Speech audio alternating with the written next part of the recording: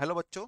Let's see this question a cart is moving horizontally along a straight line with constant speed of 30 metre per second a projectile is to be fired from the moving cart in such way that it will return to the cart after the cart has moved 80 metre at what speed relative to the cart must the projectile be fired take g is equal to ten metre per second square तो देखो यहाँ पे क्या बोला है कि कोई काट है जो किसी हॉरिजॉन्टली किसी स्पीड से स्ट्रेट लाइन में मूव कर रही है 30 मीटर पर सेकंड से। A projectile is to be fired from the moving cart in such way that it will return to the cart after the cart has moved 80 metre तो देखो, यहाँ पे हमें सिंपल सा टाइम पीरियड निकालना है जो कार्ट से, जो हमने प्रोजेक्टाइल मूव किया था, पहला वाला ऑप्शन जो फायर किया था हमने।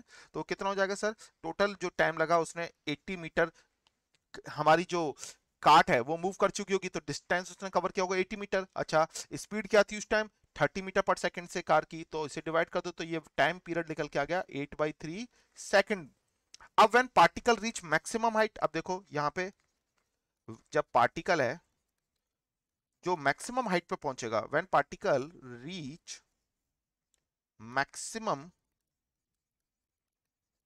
height तो उस टाइम में जो टाइम पीरियड होगा टी टू स्कल टू कितना होगा? पहले वाले टाइम पीरियड का जस्ट हाफ़ हो जाएगा तो ये वैल्यू कितनी हो जाएगी?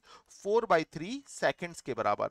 अब हमें बस इनिशियल वेलोसिटी कंपोनेंट चेक करना है तो हम काइनेमेटिक्स की फ़र्स्ट इक्वेशन लगा देते हैं। वी स्कल टू कितना? U प्लस ए तो हम यहाँ पे u minus g into t लिखेंगे, क्योंकि ग्रेविटेशनल एक्सीलरेशन नेगेटिव लगेगा। अच्छा तो इनिशियल वेलोसिटी जब हाइएस्ट हाइट पर होगा हाइएस्ट पॉइंट पर होगा या मैक्सिमम हाइट पर होगा, तब फाइनल वेलोसिटी कंपोनेंट हो जाता है zero initial component velocity u minus g की वैल्यू टेन पुट कर दी और टाइम हमने अभी कैलकुलेट कर लिया कितना है? Four by three. यहाँ से यू की वैल्यू सॉल्व होकर कितनी आ जाएगी? Forty by three metre per second, जो कि कौन से ऑप्शन से मैच कर रही है? ऑप्शन सी से। So final answer is option C best of luck